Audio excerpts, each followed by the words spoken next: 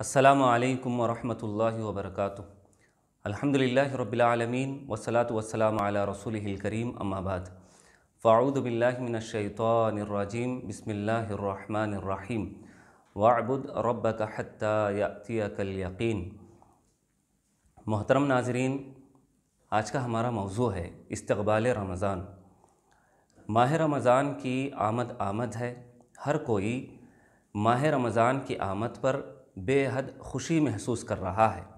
ये वो मुबारक महीना है जिसका इंतज़ार मोमिन बंदा साल भर करता है, क्योंकि ये नेकी, बरकत, बख्शिश, इबादत, जहद तकवा, सदक़ा व खैरात, जन्नत की बशारत और जहन्नम से नजात का महीना है। नादरीन इस्तबाल रमज़ान से मुतक़ आठ बातें ज़ब्त ज़हन कर लें।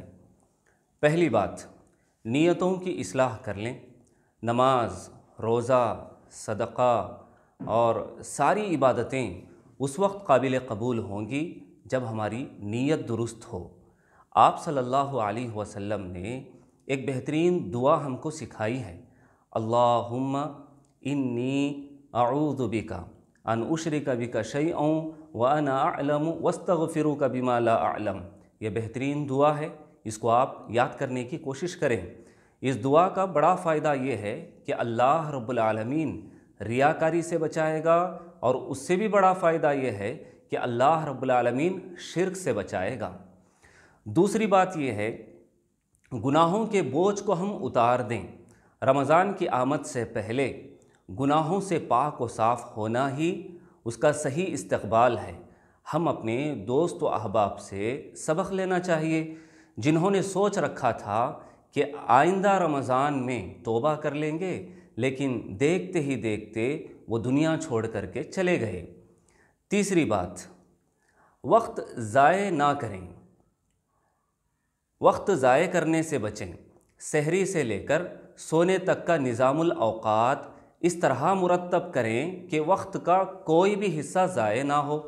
ख़ास तौर पर इस महीने में कुरान की तिलावत कसरत से करें।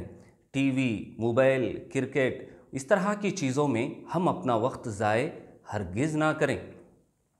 चौथी बात, रमज़ान से पहले शॉपिंग कर लें। अजीब बात है, हमारे यहाँ आम तौर पर रमज़ान के आखिरी अशरे में ताखरातों में शॉपिंग करते हैं खसूस औरतें। ऐसा नहीं होना चाहिए, ऐसा नहीं करना चाहिए। रमज़ान का महीना, ये इबादत का महीना है, ना कि शॉपिंग का। अगर आपको शॉपिंग करना है तो रमज़ान से पहले कर लें। घर की सफ़ाई रमज़ान से पहले कर लें, ताकि रमदान के महीने में ज़्यादा से ज़्यादा हम अल्लाह रब्बुल की इबादत कर सकें। पांचवी बात, दिलों को पाक और साफ़ रखें। हसद, बुग्ज़, अदावत तसब को अपने दिल से निकाल दें। हमारे भाई, हमारे बहन, हमारे रिश्तेदार, हमारे दीगर भाइयों को हम अपने दिल से माफ़ कर दें। इसी तरह छठी बात, रमज़ान में अपने अंदर तब्दीली लाए, हकीकी तब्दीली लाएँ। ये तब्दीली सिर्फ़ रमज़ान के लिए नहीं, बल्कि साल भर के लिए हम अपने अंदर तब्दीली लाएँ। ऐसे बहुत से लोग हैं जो सिर्फ़ रमज़ान के महीने में नमाजी बन जाते हैं। सिर्फ़ रमज़ान में मस्जिदों को आबाद करते हैं, मस्जिदों को आते हैं और जैसे ही रमज़ान ख़त्म हो जाए, अल्लाह अकबर, व नमाज़ों से, मस्जिदों से और अल्लाह रब्बुल से गाफिल हो जाते हैं। प्यारे भाइयों, ख़वातीन इस्लाम, अल्लाह रब्बुल की इबादत रब की बंदगी मौत तक के लिए है। अल्लाह रब्बुल ने कहा, वाबुद रब कहत्ताकल यकीन। इसी तरह सातवीं बात यह है, रमज़ान के मसाइल को हम सीखें। रमज़ान के मसाइल को सीखने की कोशिश करें। रमज़ान से मुतक़ क़ुरानी आयात और अहादीस का मुताला करें। सहरी, इफ्तारी, रोज़ा और नमाज़ तरावी एहतिकाफ़ इन तमाम चीज़ों के मसाइल हम सीखने की कोशिश करें और ये मसाइल उलमा कराम से हम सीखें। इसी तरह आठवीं बात यह है कि दुआओं का अहतमाम करें, अपने लिए दुआ करें, अपने बीवी बच्चों के हक़ में दुआ करें, रिश्तेदारों के हक़ में दुआ करें और तमाम मुसलमानों के हक़ में दुआ करें। और जैसे हम जानते हैं, ये वबाई मर्ज़ जो बड़ी तेज़ी के साथ फैल रहा है, लिहाजा दुआ करें कि अल्लाह रब्बुल आलमीन हर छोटी बड़ी बीमारियों से हर मुसलमान को और हर भाई को अल्लाह रब्बुल आलमीन बचाए रखें। प्यारे नबी सल्लल्लाहु अलैहि वसल्लम फरमाते हैं तीन लोग ऐसे हैं जिनकी दुआ अल्लाह रब्बुल आलमीन रद्द नहीं करता। उसमें से एक रोज़ादार की दुआ है, इसी तरह मज़लूम की दुआ है, मुसाफिर की दुआ है। इन तीन लोगों की दुआओं को अल्लाह रब्बुल आलमीन रद्द नहीं करता।